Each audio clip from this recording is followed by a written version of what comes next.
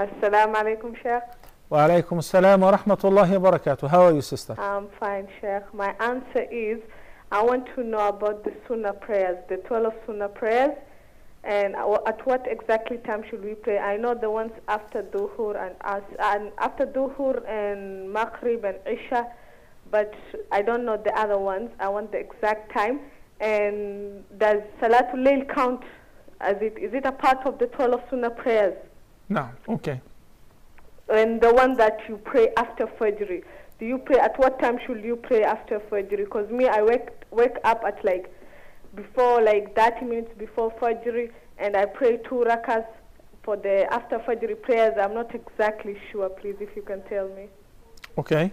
Barakallah. Uh, before Fajr prayer, before Fajr prayer, and the Salatul Duha too. Thank you.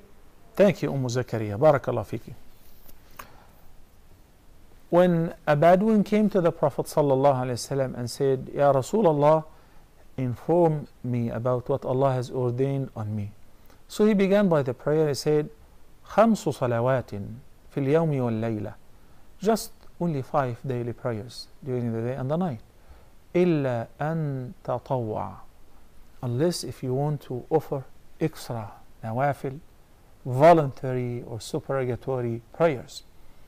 So what's mandatory is only the five daily prayers. Besides that is called sunnah. Duha, witr, night prayer, before and after the fard prayers.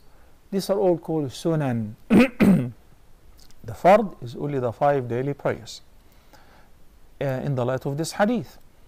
So now the sunan of the fara'id there are some emphatic and some non-emphatic. Emphatic means confirmed that the Prophet ﷺ normally used to observe these prayers, but he skipped them for a few times. And there was a reason why he skipped them for a few times.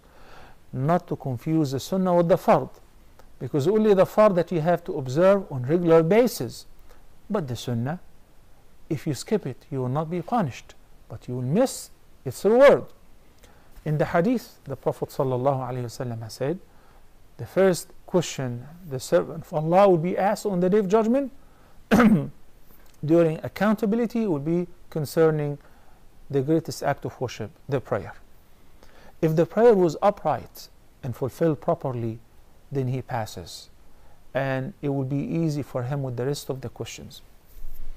If his prayer was missing, some parts have shortcomings, then Allah subhanahu wa ta'ala directs the angels to check out in the record of the servant whether he had sunan, nawafil, voluntary prayers or not.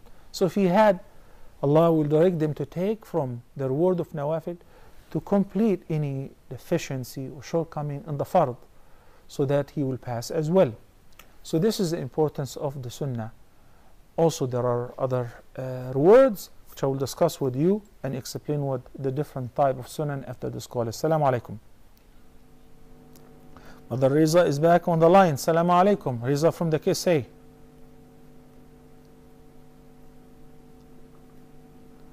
Assalamu alaikum Riza. Try a different phone card though. Okay.